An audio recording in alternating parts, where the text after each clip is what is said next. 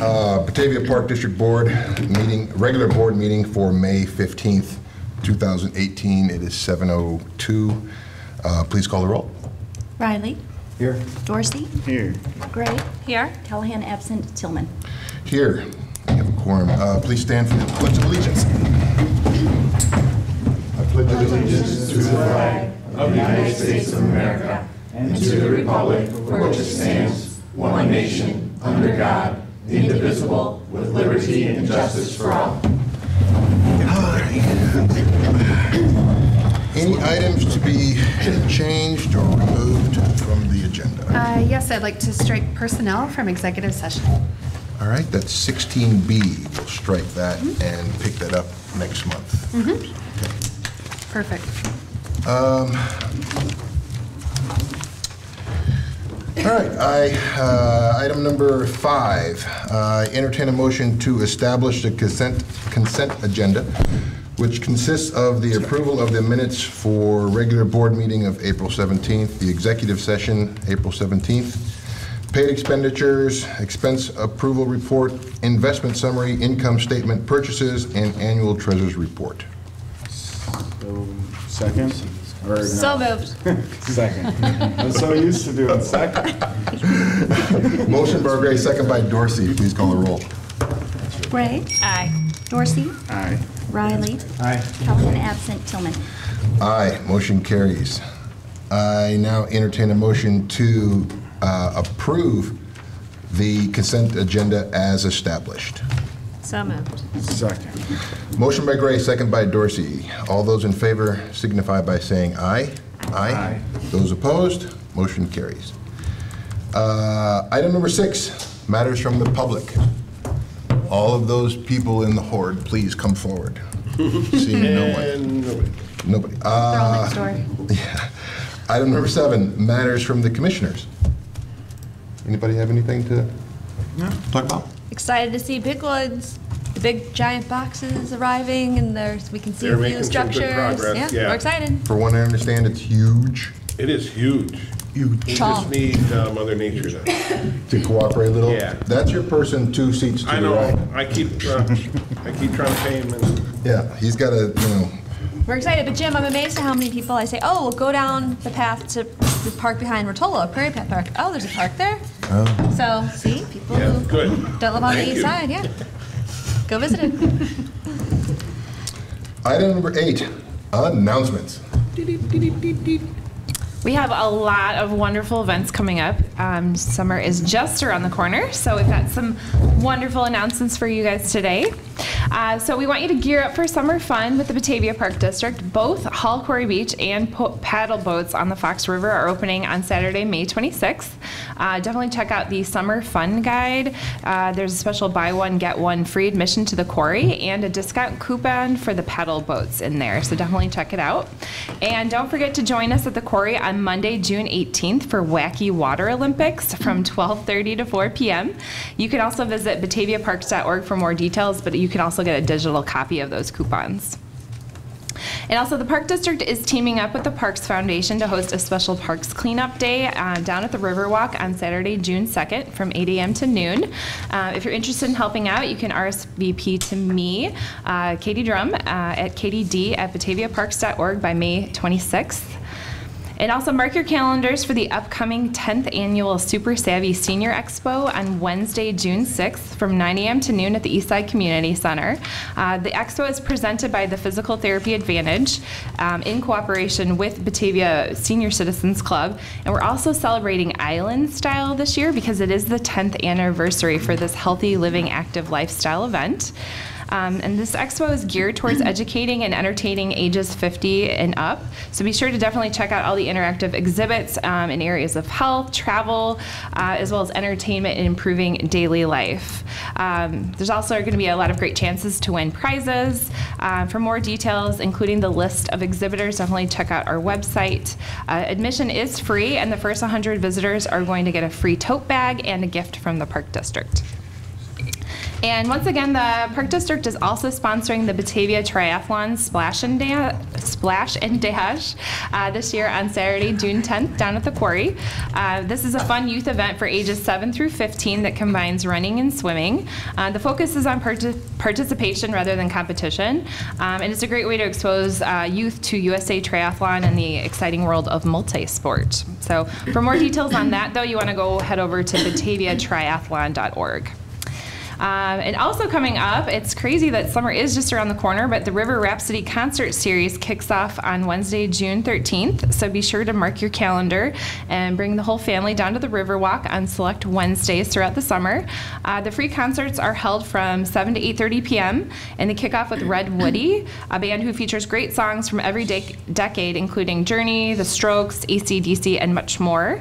Uh, the summer concerts are presented in cooperation with the Batavia Rotary Club as well as Golden Seal Service experts. Um, and last but not least, I'm getting a lot of breath here. Uh, reel in the fun this Father's Day at the Fishing Derby. Uh, you can grab your gear and bring the whole family down to Clark Island Recreation Area from 10 a.m. to noon for a morning of fishing and fun on the Fox River. Uh, there is going to be a limited supply of fishing gear available and prizes as well. Um, admission is free, and it's definitely going to be a great time. Uh, and of course, if you have any questions about any of our upcoming events or programs this summer, give us a call at 630 879 5235 or check us out on our website, bataviaparks.org. Thank you. Thank you. Item number nine, staff reports. Any updates we want to I talk would about? like to uh, start by uh, uh, uh, doing some announcements about uh, our Depot Museum. We are, as Katie has so well put, we're heading into that summer season, um, at which point in time, uh, we start to have some extended hours on the weekends. So uh, Monday, Wednesday, Friday, we're open on regular 2 to 4 p.m., but on the weekend, we're open noon to 4 on the Saturdays and Sundays. Now, the Gu- Gustafson Research Center is open on Monday, Wednesday, and Friday from 2 to 4 or by appointment. And applications, folks out there in TV land, applications are available for the Windmill City uh, uh, Craft Fest and Vintage Market. Um, Jennifer Puts here, who is here uh, tonight, hey, um, you can contact her at Jennifer P. at bataviaparks.org for a copy of that application form. Um, And we're again participating, uh, any idea how many years this has been? Many, many years in the Passport uh, program. The Kane DuPage Regional Museum Association Passport to Adventure program. Uh, You can get a little passport at the uh, depot and get a stamp, and you can go to the uh, museums in the counties of Kane and DuPage and get the stamps and fill your book up. It's a really fun program, and we've seen a lot of kids have a lot of fun with it over the years. So please join us at the depot this summer. Excellent. Awesome, thank you. Boom. We'll save Aaron for last. Yeah, I think we'll skip. Aaron's gonna talk a lot. Well, uh, with- without further ado, I'd like to announce that the quarry is full to operating level with the water, and we are using the new pumps and filters to circulate Oh, thanks. and uh, put the um, chemicals into the pool. So the lifeguards will be using it this Friday for in-the-water uh, training. Guaranteed that- that they'll turn into little smurfs, because they'll be blue. Um, Also want to give you a heads up too, as you're driving across town, uh, by the end of the week, you're going to see our awesome event fencing. We're going to be putting it up by the ERO, uh, so the New Horizons can use that as a, a a safe play zone while we're working on uh, the house and the property over at the East Side Center. So in case you see that, you're like, what's going on? Now you know. That's all I got. You know, I should point out that um, you had a detailed thing of all the stuff that had to go on for the quarry, but it's not just the parks, the recreation, the marketing, everybody. It's a huge effort to get the um, uh, quarry uh, up and running every year, and, you know, kudos to everybody, you know, not just, you know, you had a detailed write-up, but if you, if you folks saw this, it's a good 10 paragraphs worth of stuff dedicated to just getting the quarry up and running, so, you know, every year. That was Eric's Thank journal. you. Yes, That was- Yeah, well, thank you for allowing me to vent. It made me feel better. yeah, good, I'm glad. Thank you. And that's a really good transition with Brittany, just hiring all the staff, training them, getting that kind of organized. Um, On May 3rd, we had a very successful IPRA Park Pursuit event. We had over 200 participants, and we had nothing but positive feedback regarding our staff, regarding our parks. Uh, It worked out really well, so thank you, everybody that was involved. Uh, A very positive note to Lori McDonald, which is in charge of our New Horizons preschool. She was recently awarded a $500 grant from the Batavia Mothers Club Foundation, so we're very excited, very proud of her. That's going to go into new equipment at the New Horizons preschool. So with all the updates, it should be uh, very helpful. We got the C- Super Senior Expo coming up, which Robin's working on that. We just had our summer sports camp orientation, so we're really excited to get that going. We had a chance to meet all of the coaches. With me, my first time, it was nice to meet everybody, see them, get to know them, and we're super excited about that. So that's really what we have going on in the rec world.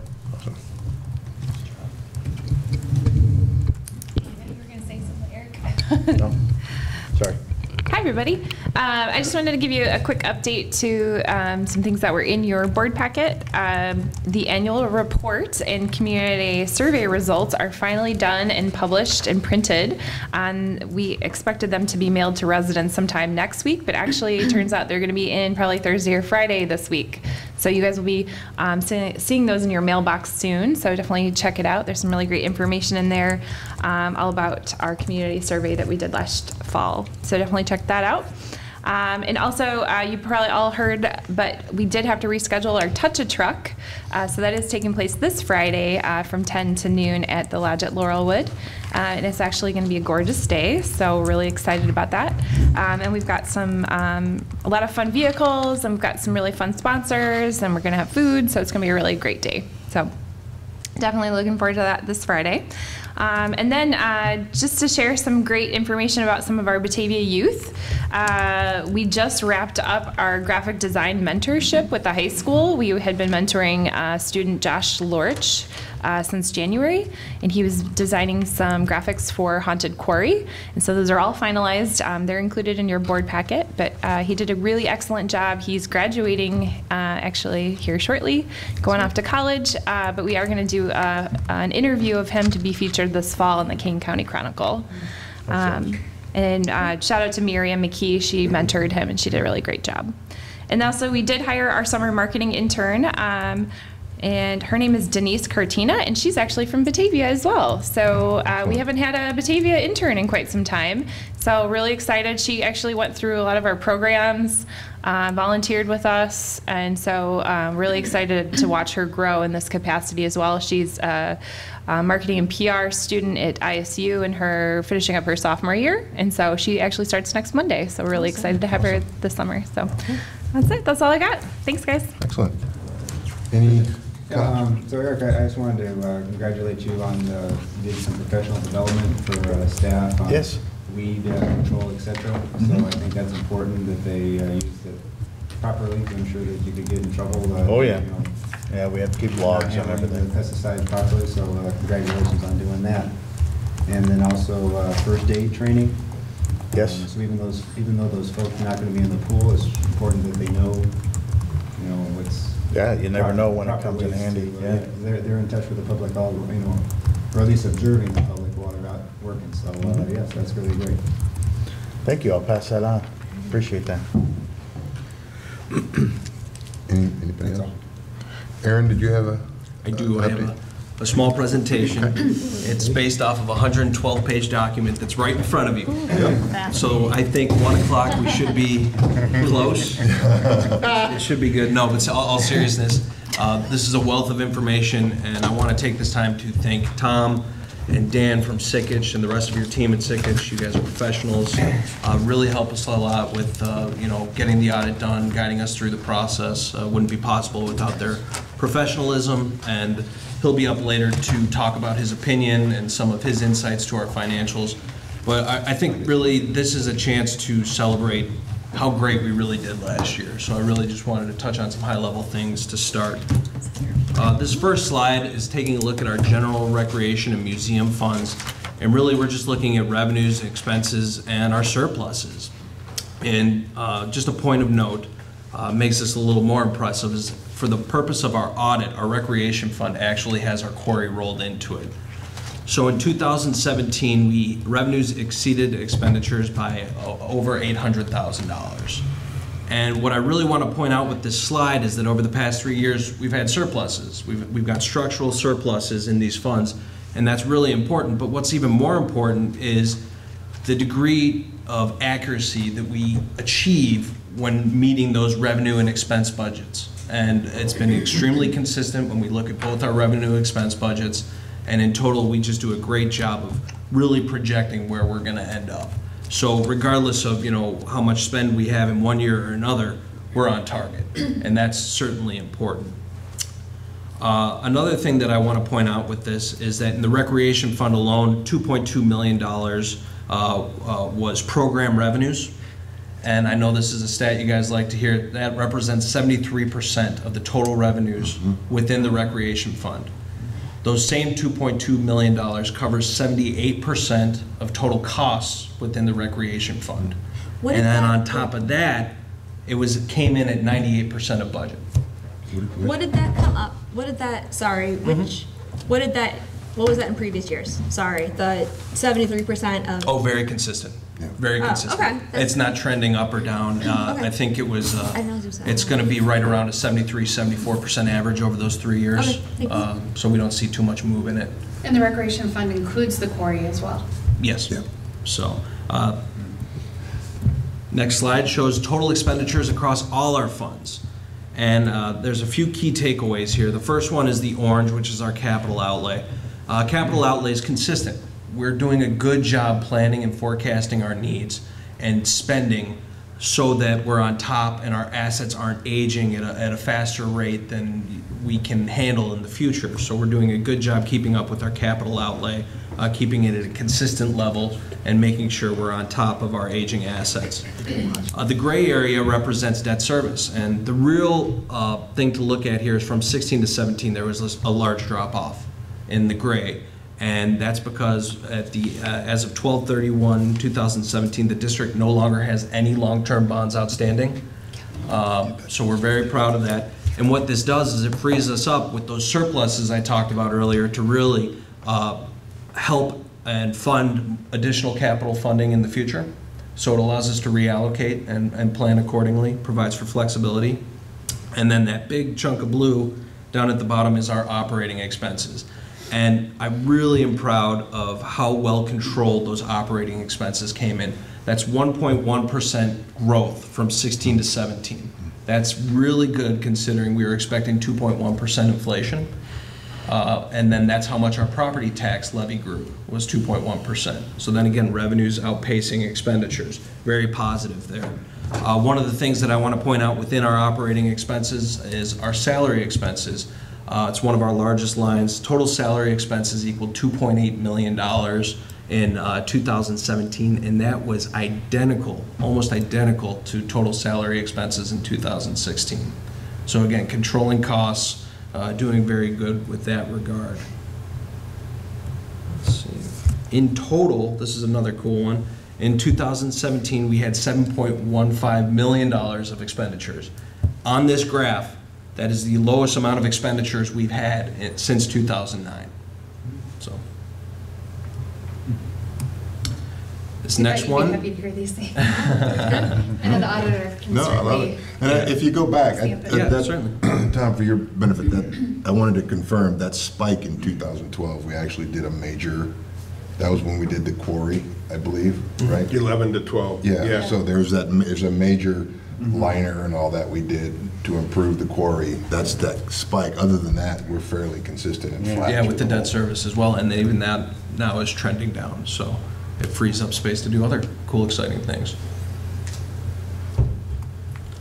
This is our general fund unassigned fund balance, and uh, you can see it just growing from 2009 to 2017. But I- what I really want to point out is in the past two years, our unassigned fund balance grew by 75%, from 5.3 months of reserves on hand to 9.3 months of reserves on hand. Our fund balance policy states that we need to keep three to 12 months of uh, reserves on hand to meet our operating expenditures, and this is a very important indicator of how shock resistant uh, the district is. And we're just, these past two years, you can see it's starting to go exponential on us. It's, it's, it's great, so we're really doing well there. And this last one is net position. Net position is where we look at where we are like a business entity. We're looking at all our assets, we're looking at all our liabilities, all our capital, and again, you're seeing growth. And this is really, really positive. All three components of the district's net position improved from 16 to 17. And the largest component in blue is our investment in capital assets. Uh, Again, this shows our cap, you know, sort of shows how we uh, are planning our capital to make sure that we're growing our asset base at, uh, at a pace that exceeds our depreciation of that asset base. It's also indicative of the amount of debt we have on our books. Uh, So it's really, really positive to see that trend moving up and uh, to continue to move up. Um, The orange component represents restricted uh, net assets. This portion more than doubled from 16 to 17 due to capital contributions that we're familiar with uh, in, in the year, and certainly we look forward to using those resources for their intended purposes. And then finally, the gray portion is our unrestricted uh, net position, and that increased to $4.1 million as a result of surpluses generated, as I previously discussed. In total, our net position increased by 9% from six- 16 to 17 to, or by $2.8 million. So, really, really positive year, a lot of good things going on. And then you want to look at the trend over time. Our net position from 2009, the recession, to 2017 has increased by 66%, from $21 million to $35 million. And I could not be happier with how things came out in 2017, the work that's been put into making this come out, uh, hitting a financial goal like any goal or target, it's, it's really important that you have a planning element to it, but it's even more important that you have an execution element to it. Uh, Your, your direction at the board through the budget process, staff's uh, diligence uh, makes my job easy, really, really executing on these budgets. And uh, we can see it uh, in the trend and also in, in our 17 performance. So I think we've got a lot of uh, things to be proud of here, and thank you for your time. If you go back to the first screen, the budget accuracy screen, I I just, I gotta give kudos to you and your staff because, and all the staff, because I know they're getting emails from you on a regular basis. Because, because this is all about data mining. Yeah. You know, You've been Yeah. in these numbers, you know, up, down, and sideways, and this is how the budget stays accurate. And it just makes it that much easier for everybody to run um, the district if everybody's budgets kind of stay in line. The last thing you want is some spikes and so forth. And because of the data mining that you and your staff are doing, the spikes are gone. We don't really necessarily have that, you know. And there's going to be the one-offs, everybody understands Yeah. that. But for the most part, you know, when you're 97, 98% budget accuracy, that's, that's fantastic. Thank So, you, thank you. And I, I think it's really important to know that if you drill down into that book, you're gonna see a lot of lines that go over. Mm-hmm. And you're gonna see a lot of lines that go under. But that's the flexibility that's allowed to us to really respond to what our customers are looking for and to, uh, you know, hit our things. But when we look at these results, we know we're hitting our targets. But if your numbers trended in the 60s and 70s percentage, you wouldn't be able to accommodate those spikes and valleys No. to people. It would It be wouldn't, it would just off. wouldn't happen, because And it would Your budget destroy- document would not be Right. meaningful at that So, point, yeah. Yeah. And Aaron does put together a monthly report for staff, so that kind of analyzes the summary overall for the month. Oh, You know, yeah. so we can- I know, I see the faces, I know they're getting emails Yeah. from him on a regular basis. Yeah. Very, very proud. They make my job easy. So, Thank you, guys. And Aaron's doing, you're doing a great job. I agree. Good job, Aaron. Yeah, Yeah. good job.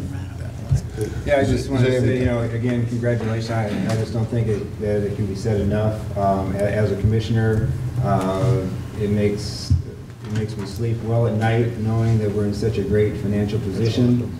And I know that when we go through the budgeting process, that each department takes a lot of effort to go through to cut costs and look at their expenditures and what they're spending money on. Allison, I know you're always looking at that stuff too, so, you know, this collective effort with these three, four slides, I know you've done a lot of work, and then you look at this, and you know, okay, I don't know if you're getting a warm and fuzzy like I am, but it really is appreciated, all the time and effort, the monthly reports, the time you're looking at stuff, observing and make sure we don't overexpend or get carried away with our emotions, devise a bunch of stuff or whatever. Um, And it's just uh, really good, because there's a lot of park districts, municipalities that they're in the paper all the time, getting themselves into trouble doing some, you know, not wise things. And uh, I think we have great, great discipline, and thanks, you know, for overseeing everything. And Thank you. I love the charts, a lot easier to remember Oh, yeah. and observe than Easier to read. years ago. Very good, Springfield. very good. You know, Two colors, I I- I can handle two colors, that's great. And Aaron's a spreadsheet wizard, so if you want spreadsheets, No. by all means. No, these, these with the That's little, perfect. with these three colors is just, that's what we need. That's what you need. All right, we'll keep it. Save the rest for the big, for the big book, you know. Well, thank you, thank you. Yeah, yeah. I'll, I'll let them. Yes. Anybody have uh, anything else on, on the staff reports? Um, Item number 10, Executive Director's Report. All right. Sorry, Shelley. Lights on, lights off. That's right. Gonna adjust our Do a little tap dance, pupils. he's got to pull it Yeah, up there. I'll dial it now. Sorry. All right, we're just gonna switch gears here before we get to the Here rate report. There we are, that didn't That's take six months, right? Thank you. All right, moving right into it. On to that next slide.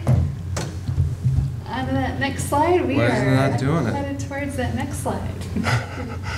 Hold on to your seats. Treat it like a spreadsheet. He's really good at spreadsheets. He's But good at spreadsheets. PowerPoint is a whole story. Spreadsheet.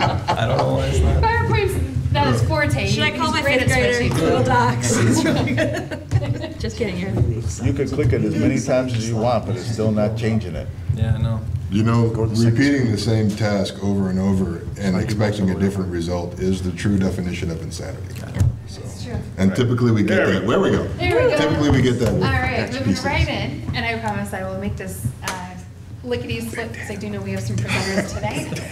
But um, I'm pleased to present to you uh, what Jim Eby and the preschool teachers and Lori McDonald and myself have been working on with Upland Design.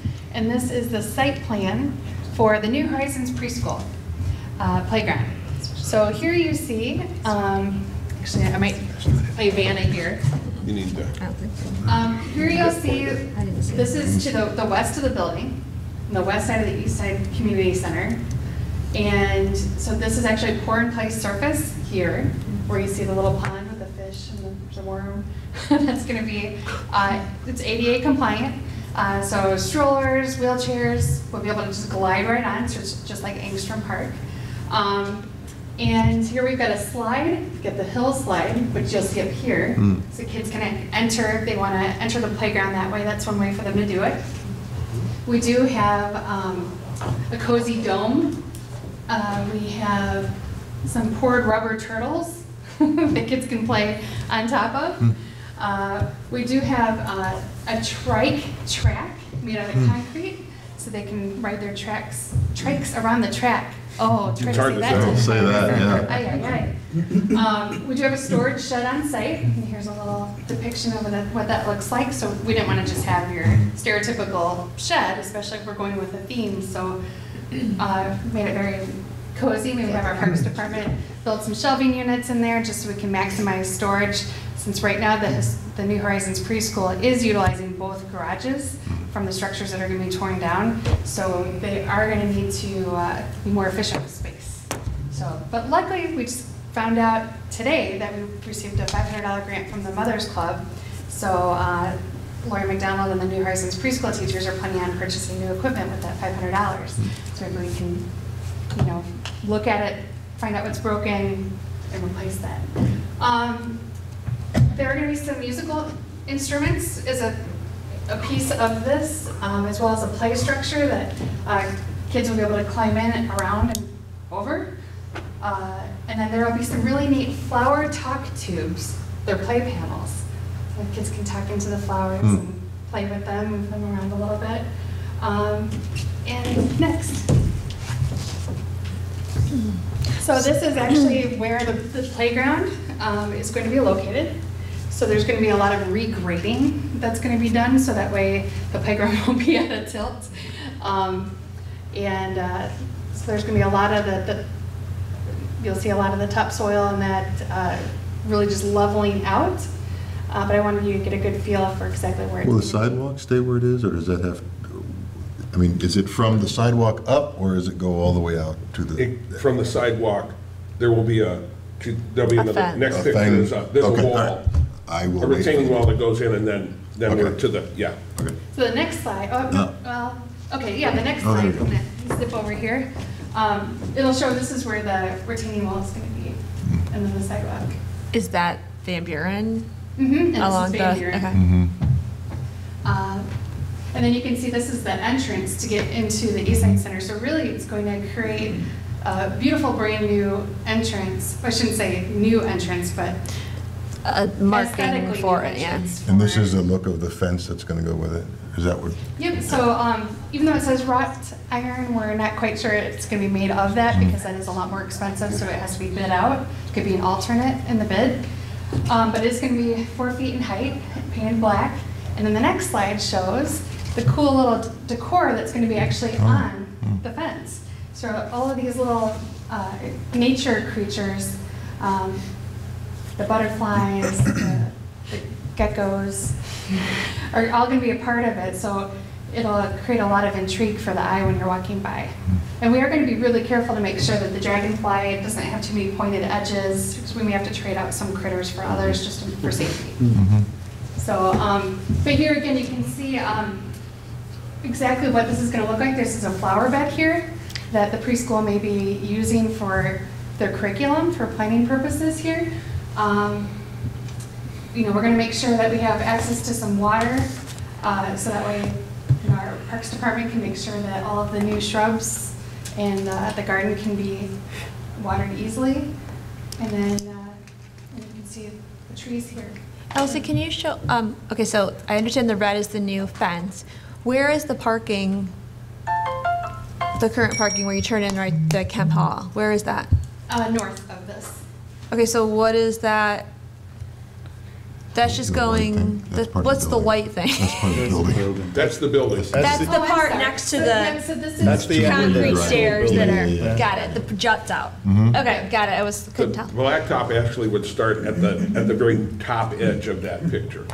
That's where the parking lot is. Got it, okay. Next.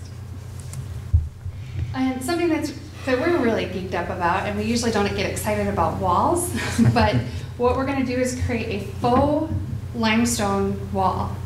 And uh, it's gonna be made out of concrete, and there's a really neat layering process, so it can kind of almost stencil uh, the wall when it's peeled off. And it'll be painted to match the exact color of the Batavia limestone that you see around town. And um, so even though it's concrete, it's like this. So that's just the form they put on there that has The the rubber, mold the rubber liner. Oh, Yeah. cool. So we're really excited about that because it's not just a concrete retaining wall, it's actually a decorative wall Mhm. that will match what you see around town. That'd be cool. Next. And uh, there is a fabric shade structure, so you see this, Hmm. this square here. Um, This is actually the, the shade structure um, over the bulk of the playground. And now you get to see the colors, the coffee brown and the desert sand. And the dimensions are listed there for you as well. But you get a real feel for it. So we are going to be working closely with Eric and his team to find out whether or not they'd like to leave that structure up in the winter season, because as you can imagine, snow can mount on it. But at the angles that it's been created, it was designed for all seasons. So we'll be working closely with the team to maybe give it a pilot, pilot season.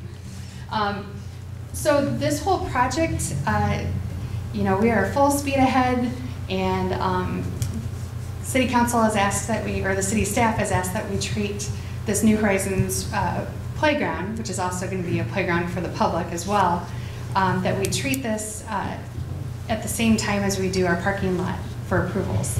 So now it's one big project instead of two separate projects. So with the parking lot over at the East Side Center, uh, we're going before the Planning Commission and the Historic Preservation Commission um, within weeks of each other, and then City Council for approvals on the playground and approvals for the parking lot, but all as one big project.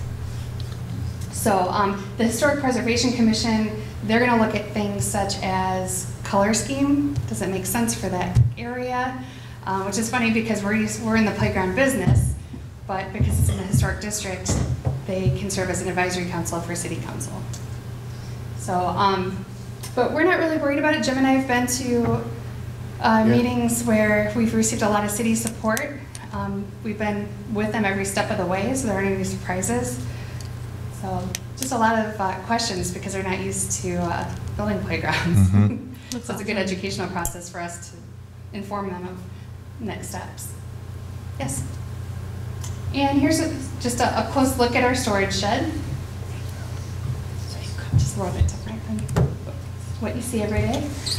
Now we're gonna. Before you go, one more, uh, Oh, the other go really have, good thing is that uh, by doing this on the west side of the building, we now are creating a second fully accessible entrance into the building. Currently, that you can't gotta, you gotta go up steps to get mm-hmm. in that doorway. Mm-hmm. So as we create this new area, we are able to work it so that the wheelchairs or persons with mobility issues can get up to that door right out of the parking lot, so. Thank you for bringing It'll that be up. very nice. Outside, how do they get through the fence? There's a ramp, I think, from, isn't The there ramp, there was a from ramp that goes up along the Got it. wall, inside the wall. white Okay. part? So Yeah. you- you have your ramp, choice right. of. uh, Oh, you got it, your so choice- around, You yep. can do stairs or you can go around. Yeah. Right. Okay, thank you. Yeah. And we can use special rec money uh, to help fund that Okay. too. So now we're switching gears to a different playground. So this is actually uh, the Big Woods Park right here. And so you can see just how tall the structures are starting to get, and that's without the shade structures on top. So, um, but we need Mother Nature uh, to cooperate with us so we can get this done a little bit more quickly. Next. This isn't as attractive of a slide, but a lot of people at home may not know just how much goes into developing uh, a playground once the old playground's removed. Uh, There's a drainage system, uh, system, which is exactly what this is, uh, that is underneath every single playground. So um, a lot of times those get damaged either during the removal from the former playground or it's just a good idea to replace them depending on how old they, the drainage system is. And um, so this has to take place before anything else can lay on top. And it's been getting to work out this week. Mhm. So This is Payne Woods Park. Next. All right, uh, you may recognize this face in our audience tonight. Our Depot Museum, uh, Jennifer Putzier, uh, the Depot Museum Director. She's standing in front of our Victory Garden, and um, we're pretty proud of this. This is really an in-house effort uh, with our Parks Department working in collaboration with the museum staff. So what used to be here was outdated shrubs. Uh, they were old, they were dying, um, and we couldn't really give much life support to them. so, so they were removed, and um, as you know, we have an in-house greenhouse, and so Kim Hansen, our superintendent of parks, has been doing a great job harvesting seeds or harvesting plants from seeds, and um, she was working on vegetable plants all winter. And so, sure enough, uh, Jennifer had a day where volunteers came together and started planting all these healthy vegetables. Uh, you name it tomatoes, onions, radishes, it's there. The bunnies haven't discovered it yet, so I don't know how that's happening. They haven't made their way to the Riverwalk yet. um, but so far, so good, and it's you know really become quite the uh, eye-catching look when you walk by. And the harvest, what are, what are we planning to do with the harvest? Eat it. Well, that's a that's a good point. Jennifer, did you want to speak on behalf of what we're planning on doing with the, once everything's harvested? Um, because it's mostly an educational exhibit. Mhm. Uh, I'm offering first dibs to the volunteers who help with this, and anything extra, we're hoping to be able to give to Candy. Oh, perfect, yeah. All right, mm, thank That's you. cool, isn't it? And next. Makes it worth all the work. Uh, This is a promotion for the Parks Foundation Cleanup Day. Mm-hmm. This will be at the Riverwalk on Saturday, June 2nd, from 8 till noon. So I'd like to encourage any board members, if you can, to just let, let me know. And anyone that's watching at home that's interested in helping out on Riverwalk Cleanup Day, you can contact Mrs. Katie Drum at Katie, K-A-T-I-E-D, as in drum, at bataviaparks.org. Next.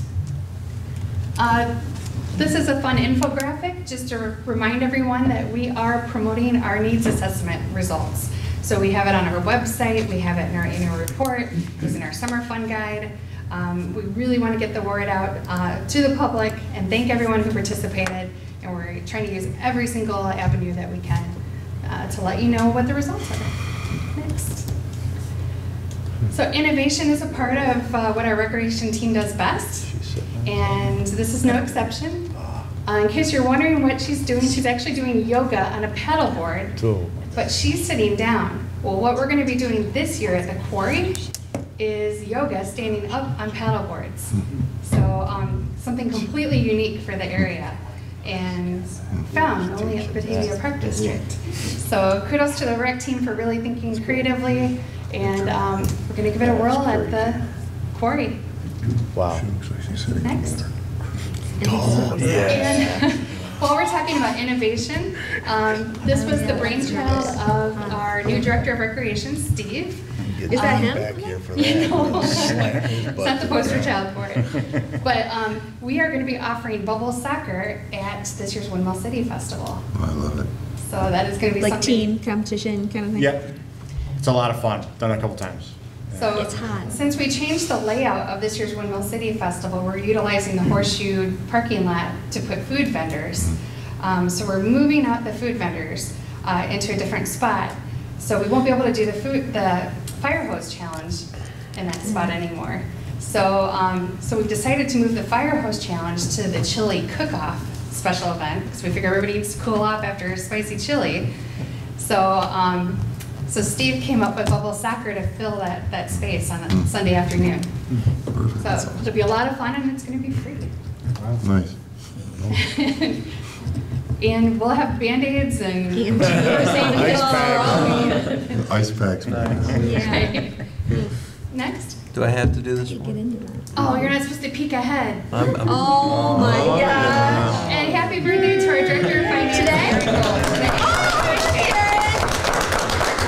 that is you wondering I asked you for that picture? I knew what you were up to. The one on the bottom? I I can't say no to you. Oh, the one on the upper right is the perfect That's picture. a great picture, Aaron. That's a great picture.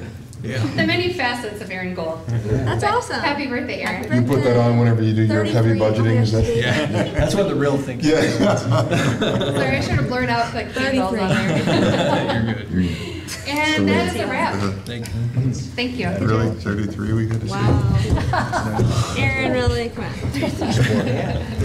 All right. So John, just, just one comment. Uh, Yes. So, um, you know, I think you guys did a great job. I- I'm going to your report on what you submitted. So Okay. I, I think uh, you did a great job with this cleanup of the homeless shelters around Woodard uh, baseball field. And so I think that you should maybe um, either write a letter or contact uh, BYB and let them know, because there was a discussion about that, because Oh. before, during, uh, maybe during the time of this, uh, one of the homeless folks was in the dugout and the kids found him. So the Oh. fact that, you know, there were, there was concern about, you know, what, you know, what's gonna happen. So the fact that this was taken care of and even into the woods, because the conversation you have out there for tournaments, what if parents or little kids are running around out there in the woods. So this has been solved now. So I think BYB, it'd be great for the park district to say, hmm. look, we recognize an issue here, we took care of it, and you mm-hmm. guys don't have to worry. I think that'd go a long way in relations and all that. Excellent. Will do.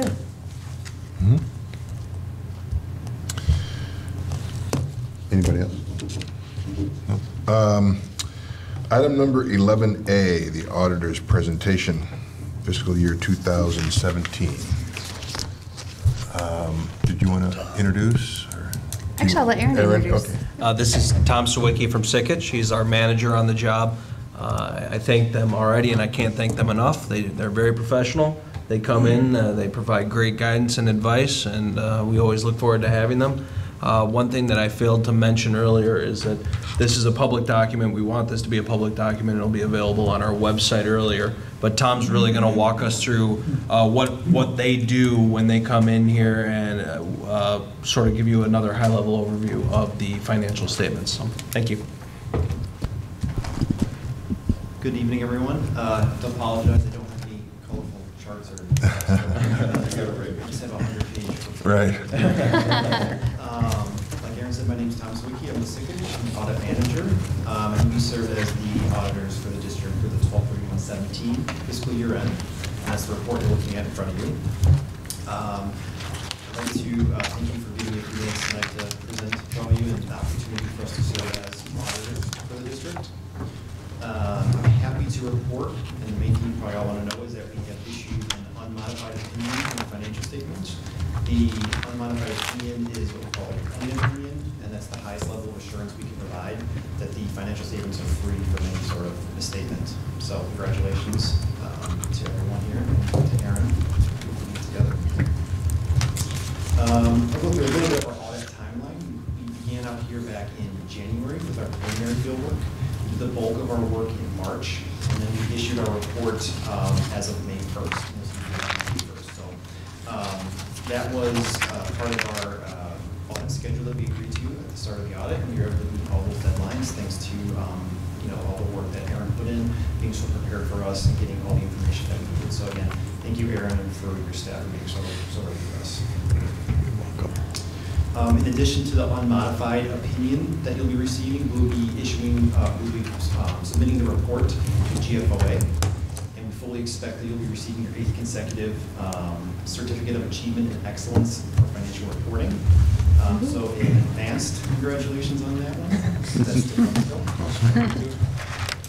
Uh, Jumping into the report itself, uh, I'll direct you to page one, which is actually about 10 pages into the report. Uh, This is the independent auditor report, and these three pages here are the only pages that are, come from us. The rest of the report is all the district's information.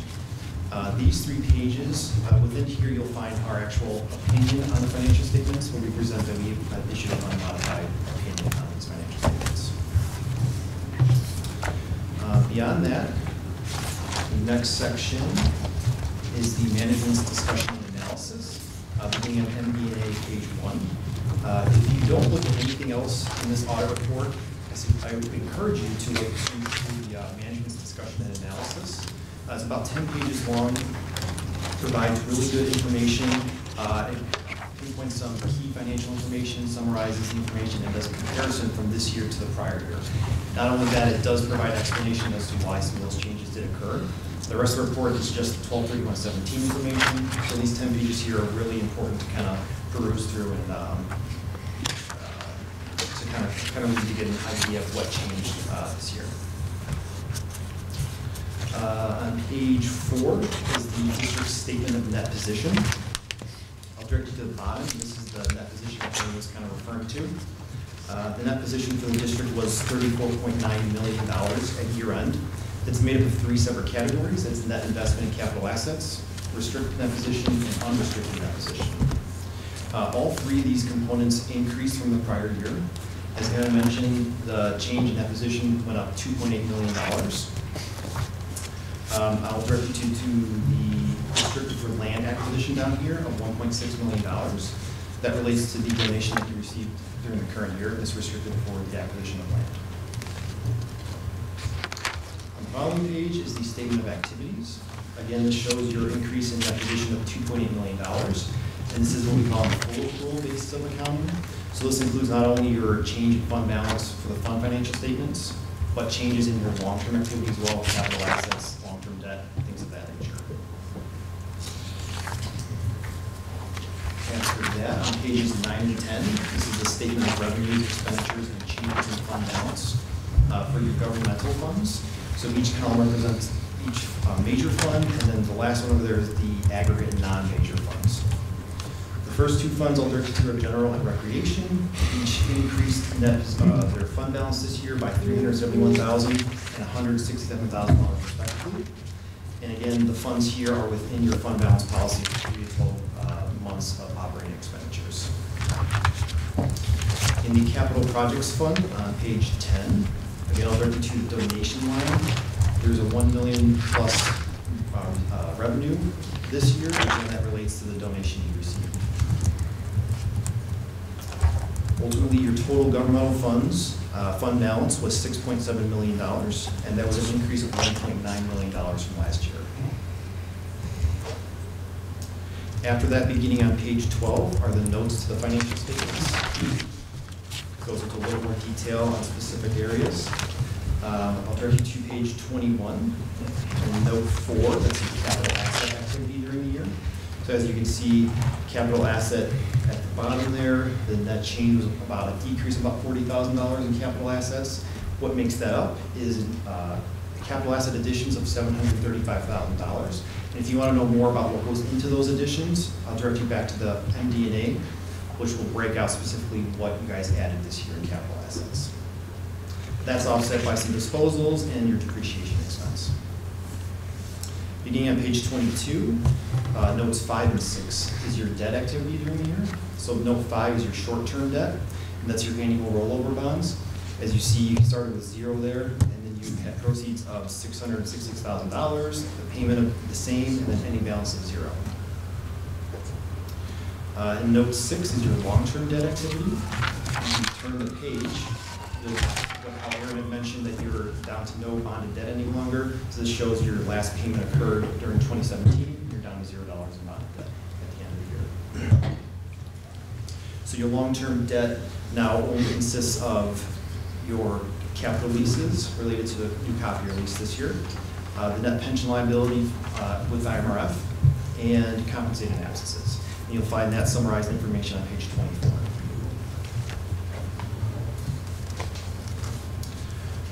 After that, on page 29, note 9, this is the Illinois Municipal Retirement Fund footnote. This lays out some of the information related to the IRF plan. And if you go to page 32, this will show your changes in the pension liability that we had to report on the statements. It only changed about $12,000 this year, so not a significant, not a significant change from the prior year. I'd like to point out that this information is the 123116 IMRF information, as the 17 information was not yet available when performing the audit. Uh, After that, the schedule behind that are just some more detailed information um, of the different funds and some of the non-major funds as well. I'll direct you to page 56. I won't go into detail on this, but this is the statistical section. Uh, This information kind of goes through uh, some of the overall financial health of the district and some of the financial trends you'll see. Each schedule is 10 years uh, of information, so you kind of see how things have changed over time. So that was some of the uh, financial information I wanted to point out. The other item you might have in front of you is a little black binder, and that is our required communications with the board. Just a couple things in here I wanted to point out as well. On page five are our journal entries during the year.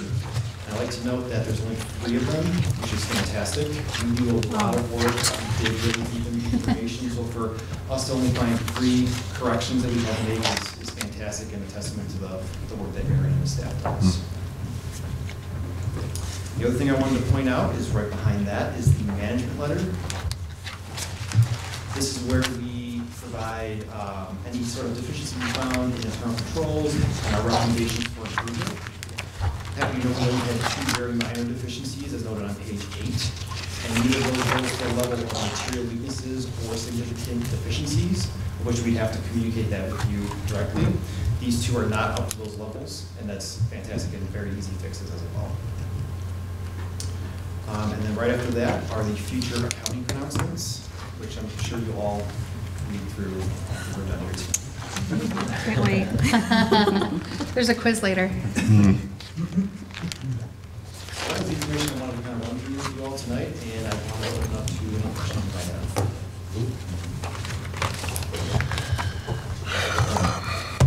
Does anybody have any questions? No. Um, Just so folks know, uh, this is up on the website, the entire report, but if they can't have access to the website, they, there's hard copies or no? Is there? Yeah. Oh, yeah. So, because I know that they have hard copies, we also have it in our electronic form. So just so folks know, they can get a copy of the report if they need it. they want it. Um, Thank you very much. Um, You know, once again, an awesome um, collaboration. You know, kudos to the staff for putting this together and and for your help. This is excellent. Thank you. Thank you, Tom. Thank you. Thanks, Thank Tom. you. You're awesome, man. Thank you. Um, Item number 12A, Capital Development Plan Progress Report. Well, I gotta tell you, pretty much everybody's talked about all the projects, right? So, um, The playgrounds are coming along very well. The the rain has scooped us up at Payne Woods. The folks are working very hard at uh, trying to get uh, Big Woods completed to where they can move over. It's- We're supposed to have three or four dry days now, so they, they should be able to get back into Payne to begin with uh, again. Um, We talked about the application we're making for the uh, planned development uh, change in our zoning um, for the East Side Center. That's what all of the planning now is going to happen. Uh, We'll be working through that process with the city. We're still, and they are fully aware that we're trying to make sure we get things underway in August, September kind of timeframe. So um, we're getting a lot of good support and uh, guidance through them. So um, things are really rolling along. I think that- that's about it. Cool. Good job. All the pretty pictures. Yeah, right. And Any Can I ask a quick question? What do they do with all those boxes, the giant playground stuff's in? Um, Those are actually, uh, they're pretty much wooden crates. Oh, they Not are? A lot of giant, good-sized boxes. They have gotten kind of rain on, so Yeah. they, they're pretty, Have you seen it? It's fascinating. My kids are like, You're trying Yeah. to can we play there? I'm like, no, you can't play on it. they have. There's like, orange lot fence around it, yeah. The cardboard on the outside and the crating Oh, inside. and then- got it. Or they've got the crating and then they put the. Got it. the, I just, The big interesting. sheets of cardboard in and tack them all down. Yeah, it's a, it's. It's a lot of- at the amount of Packaging. crate wood that they've, Yeah. that they've come up with, yeah. Okay, thanks. Cool, thank you. Uh, 13A, new business, approval of the Batavia Historical Society's proposal for naming rights pertaining to the Batavia Depot Museum expansion project. Yes. Included in your packet is a memo of support that I've written uh, explaining really what it is that the Historical Society uh, is looking for and how it came to be. Uh, Jim Eby, Jennifer Putzier, and myself have met with Dan Huffler, who's here tonight. Uh, He's a Batavia Historical Society board member. And um, the society has been approached by many people about naming rights. And as we know, the park board has a naming rights policy. And really, it's uh, unique because what we, we would be selling essentially, or what the Historical Society would be selling, is a concept, right? It's a conceptual drawing right now. Um, so it doesn't actually exist with the expansion, but we know that, you know, we have put capital dollars towards it. We know that the society has signed the agreement that says that they're going to raise as much money as they can until they hit the $2 million mark. Um, but this really kind of authorizes the society to sell uh, naming rights uh, for five different areas that are included in the proposal. And actually, at this time, I'll invite Dan, who's here tonight, uh, to the podium. And um, if there's anything else that you'd like to add to that.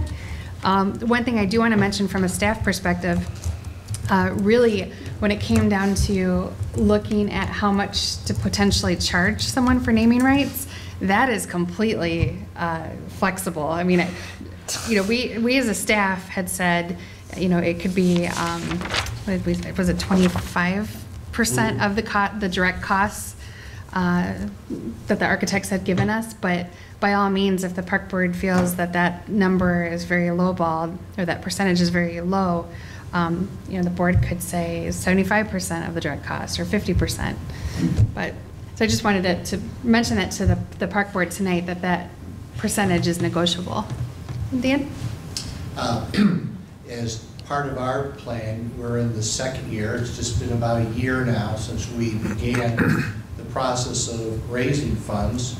Um, We're up over, we're right now about 750,000 that has been allocated from our resources and what we've raised. The second year was always uh, looked at uh, as an opportunity to begin to do exactly what we're presenting tonight. We first needed to get the word out, to publicize why it's important for the community of Batavia to support this expansion project. And uh, we believe that we've done that. We also believe that um, going forward, we needed another um, piece of our, in the quiver, another arrow in the quiver so that we could go out. We have been approached by individuals in the community that may or may not, just depends on our negotiations with individuals or corporations, looking at potentially naming something.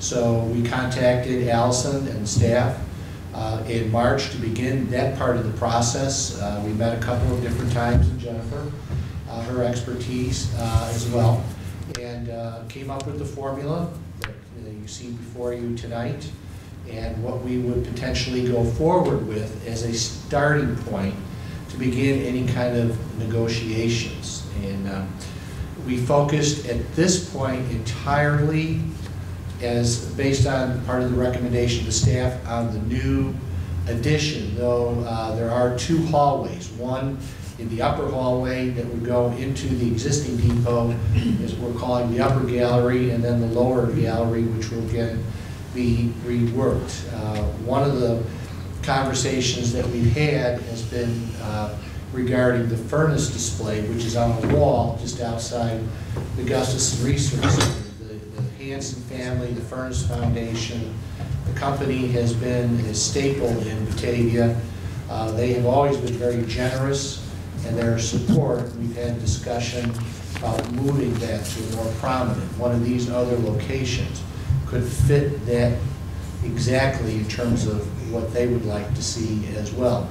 Uh, We've had a discussion with somebody outside of our community whose uh, relations um, was prominent in Batavia City Council and politics. They live out of state now, and they've approached us as some sort of legacy opportunity as well. But that really has not yielded any,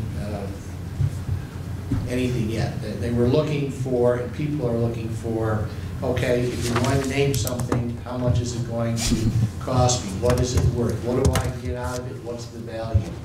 We have to be able to present that to the individuals, corporations, businesses that we're speaking to. And now we have a footprint to start that process. There are other places that we can go, as it mentions, we certainly could get maybe one of the major railroads to be our caboose sponsor, or local banks maybe to sponsor our coffin bank. Who knows? The possibilities are endless, but we appreciate the support that we got from the staff, their direction. And uh, just a a note, uh, the next time I get invited to a meeting, not on the audit. The agenda's You're a online, sport. you could read it.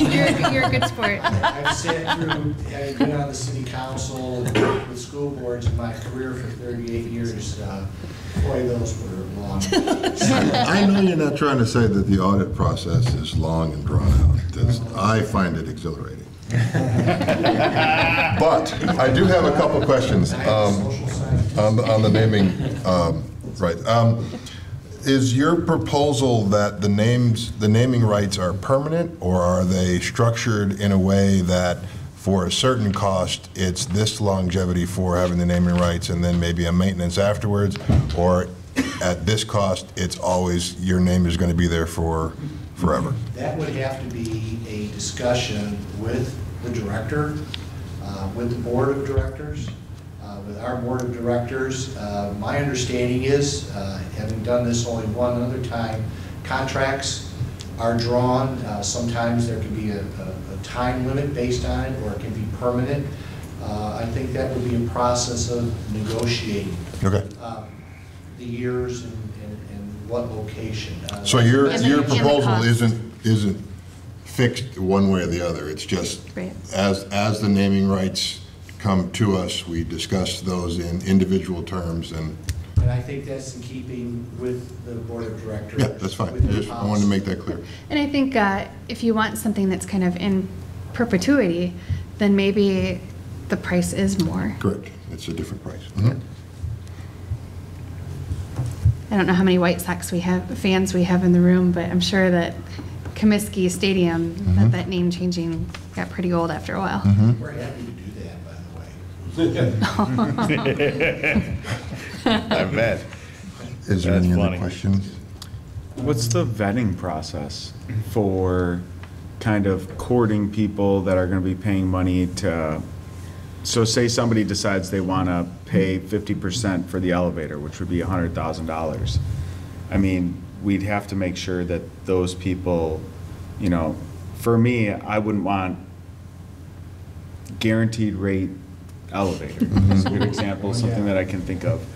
I mean, naming rights, I think it's a good way to raise money, but I think that we have to vet each person and kind of like go through and figure out, you know, what kind of person is this, what do they stand for, make sure we don't have any, you know, black spots on it. That's a perfect, perfect point. Excellent example. And actually, uh, per our board policy, the society would actually have to come back to the park board to request permission for that particular sponsor, that particular name.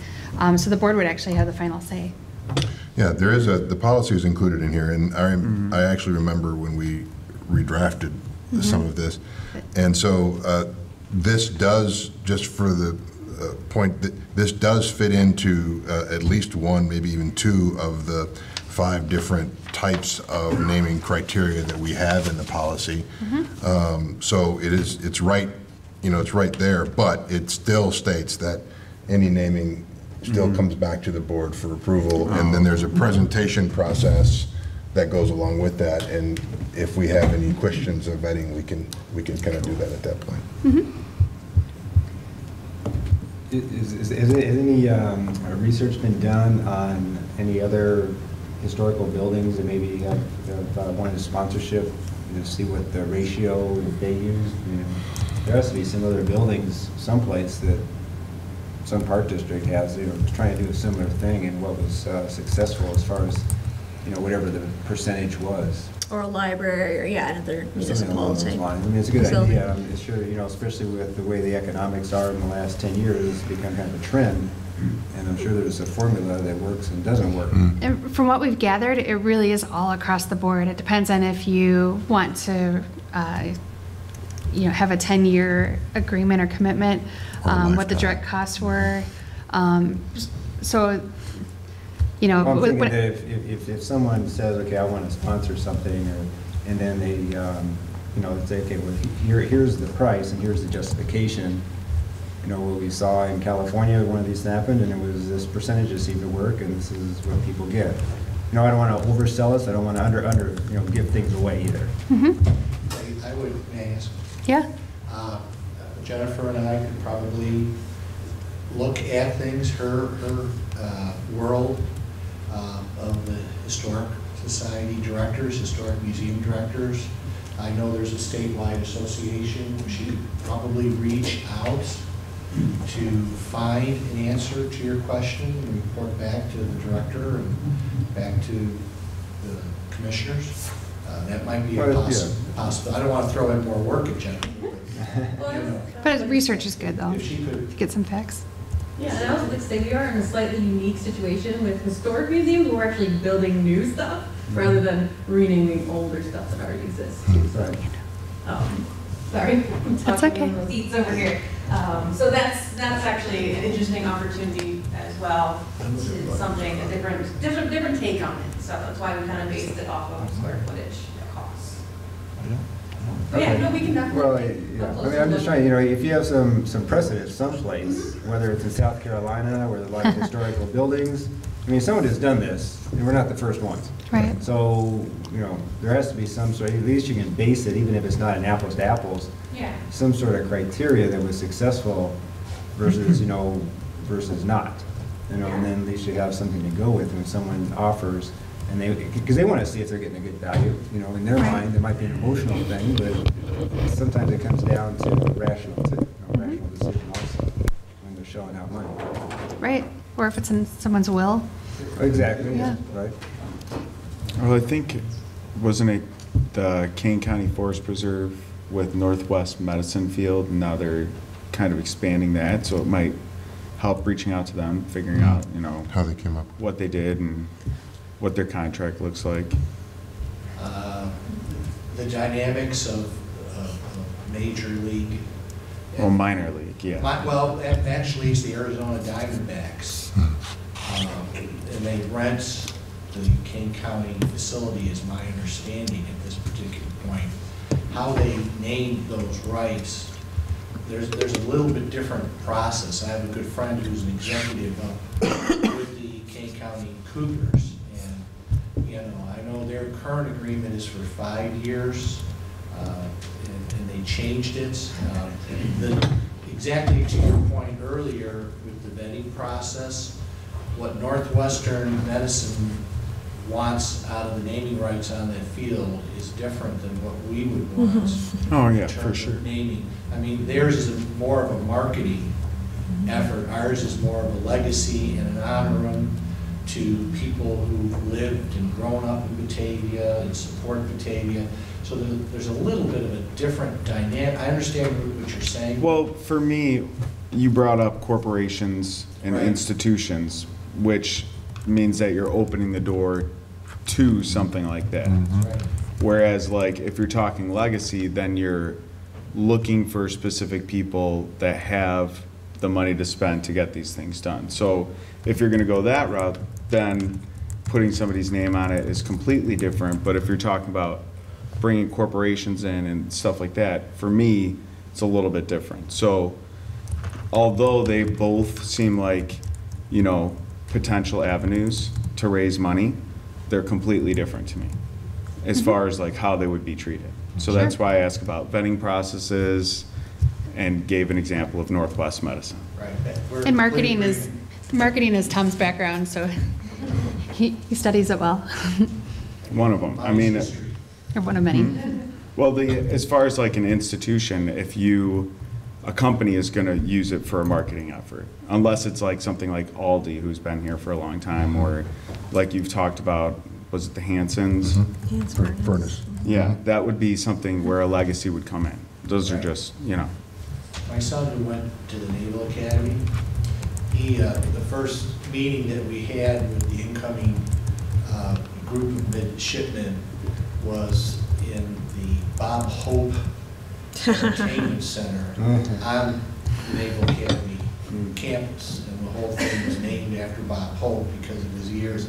But the majority of the money that was given to the government to build that building was from Mr. Hope himself and other friends of Mr. Hope. You know, I, I think the presidential library is a really a great example of what we're talking about. When you go into, for example, the Reagan Library, very first thing you see is the wall of major donors and the um, denominations that they give. Yeah.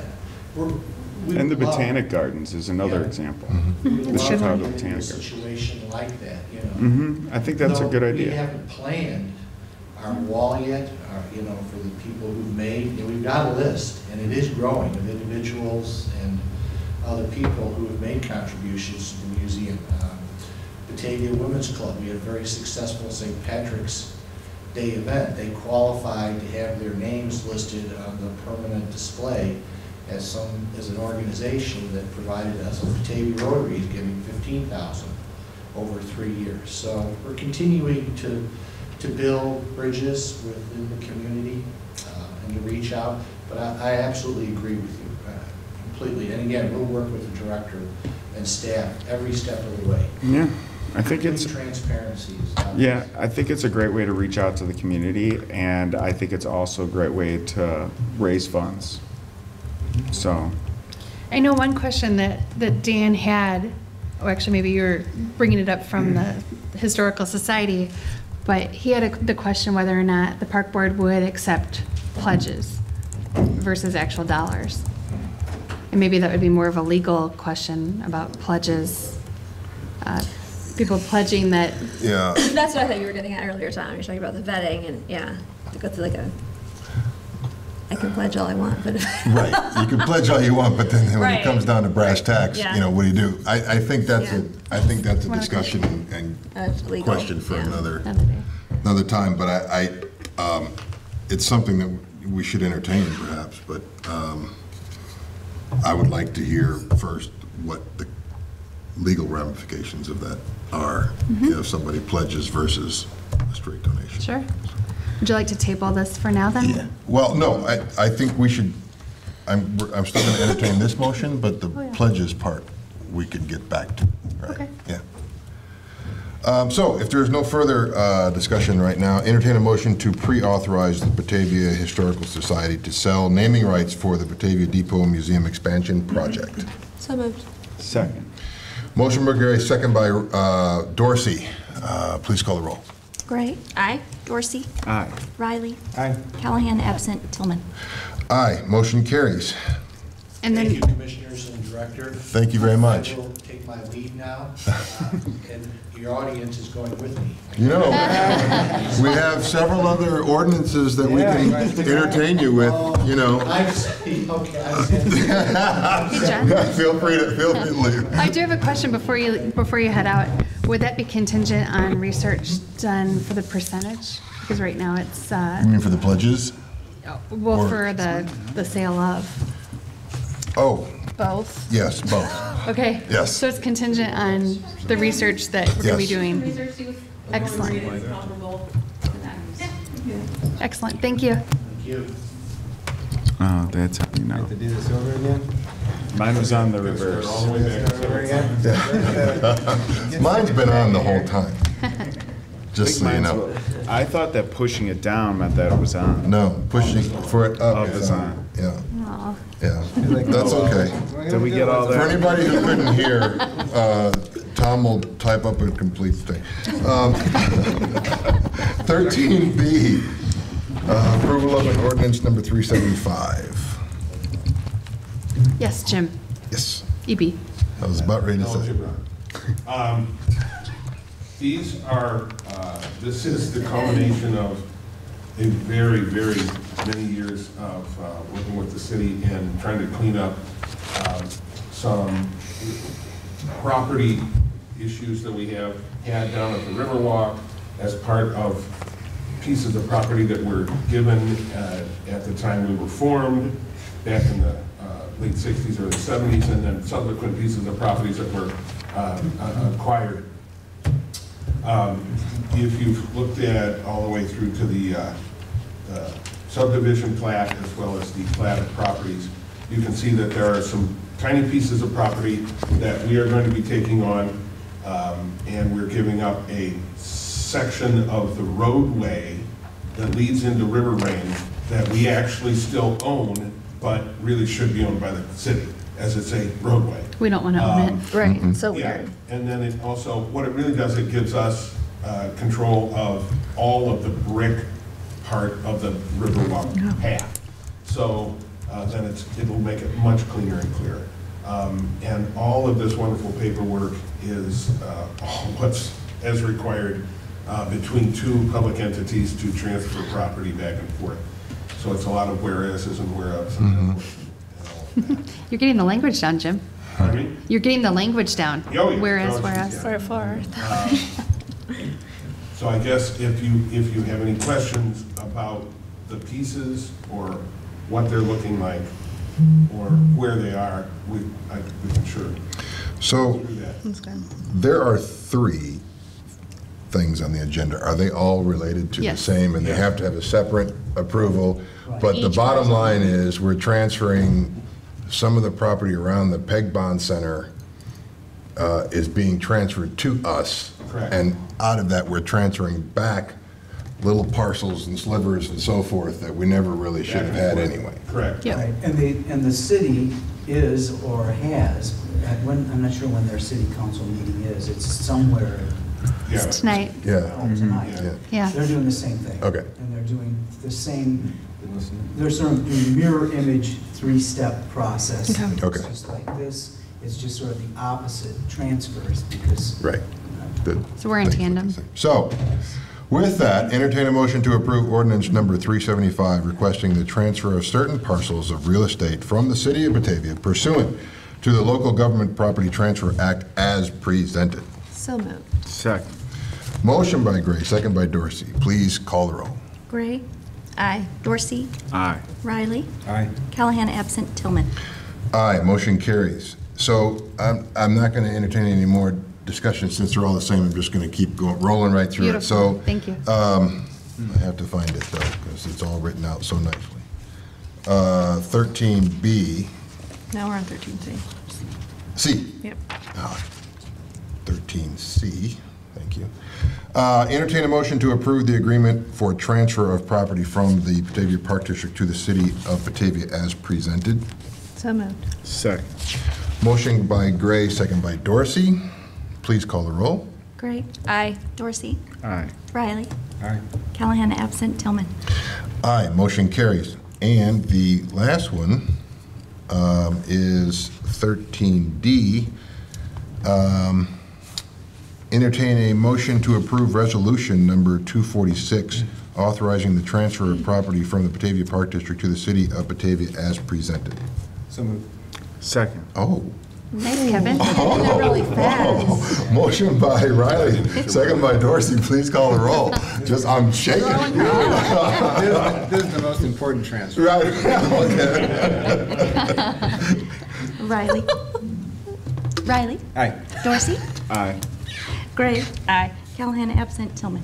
Aye, motion carries.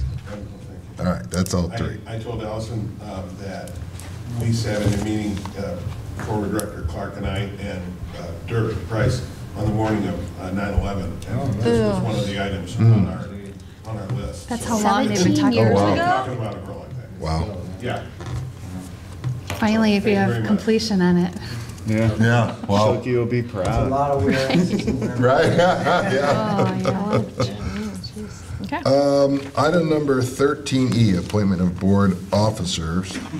Um, So, I always forget how this works. Um, Open the floor to appointments, take appointments, close appointments, set floors, uh, set ballot accordingly, blah, blah, blah. So this is basically just asking folks who they would like. Now, For I- nominations. I sent an email uh, a little while ago with my choices. Um, Tara did too. Tara said she wanted the, the same. Yeah, so parents they- also says so that. Same, and so, I don't know, did you guys get a copy of that? I I didn't see did, yours. and I have everything being exactly the same, except for the sub for the, Yeah, I didn't have any subs. That's Yeah. the, the the subs For for the Fox Fox Valley. Valley and for the Batavia Chamber. Kevin, did you have any changes or? No, not, not really. no. Okay, not really, but that implies maybe. Um, no. Okay, all right. The same. Okay, um, so, we would need some, ta- to take appointments for the subs, mm-hmm. right? Yep. So for, if you want a sub for the Parks Foundation, if Tom can't make a meeting, you could have an uh, Well, an there's not a sub on here. I was talking about the Fox Valley Oh, Board of okay. You Directors can do that and for too. the Batavia Chamber. True. oh, we need a sub for that?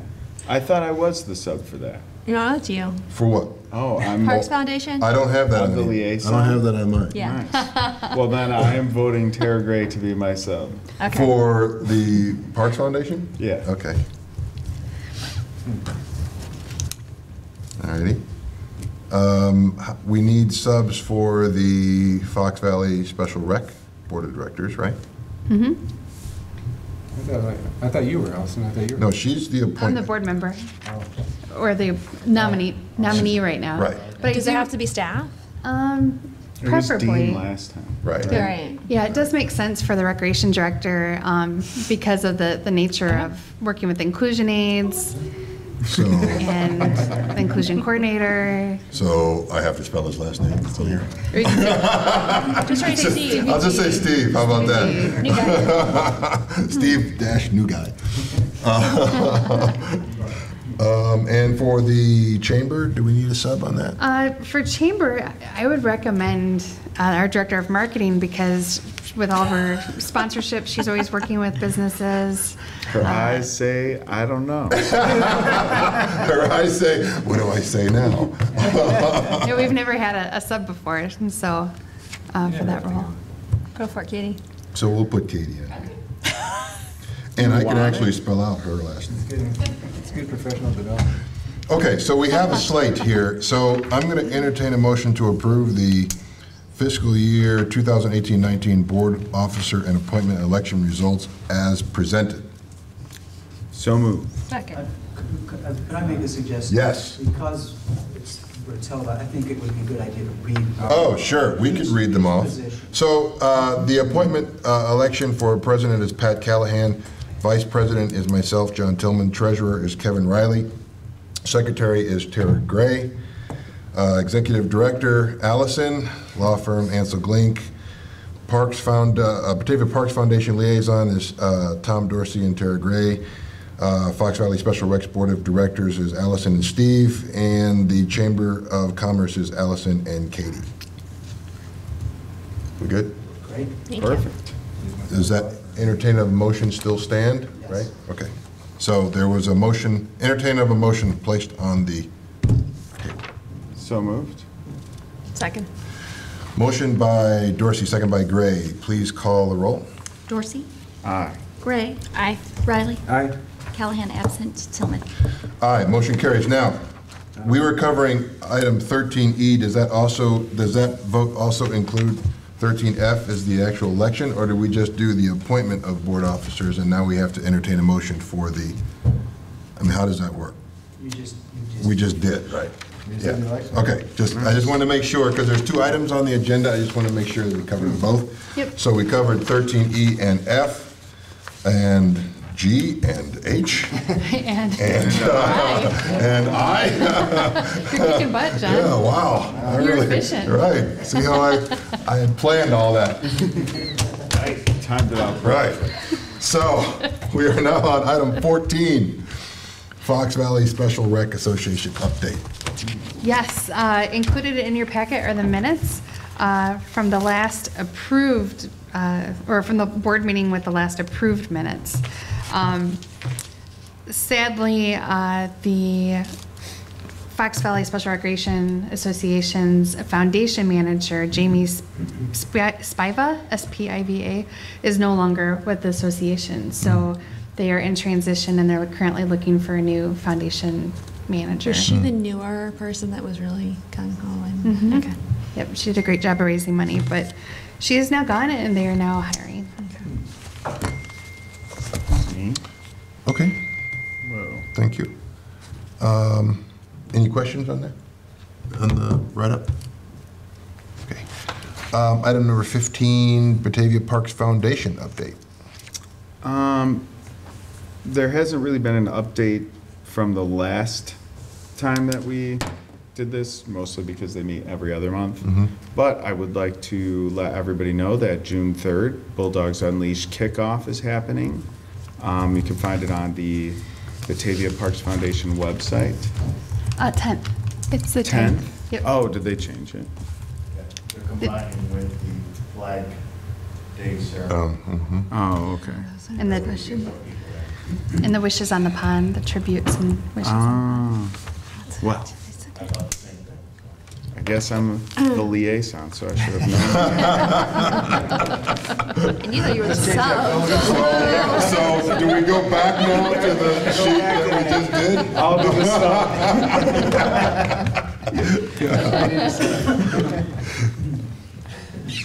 Is there anything else? No, that was it. All right. Could barely get that right. That takes us to uh, executive session for land land acquisition 2C5. So um, I entertain a motion to go into executive session to discuss land acquisition 2C5. So moved. Second. Motion by Gray, second by Dorsey. Is this, this is a roll call or?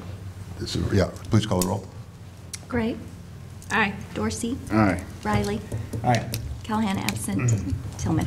Aye, motion carries. Uh, And we uh, do not plan on uh, taking any further action after executive session, so um, I would say good uh, night to everybody, and we'll see you next month.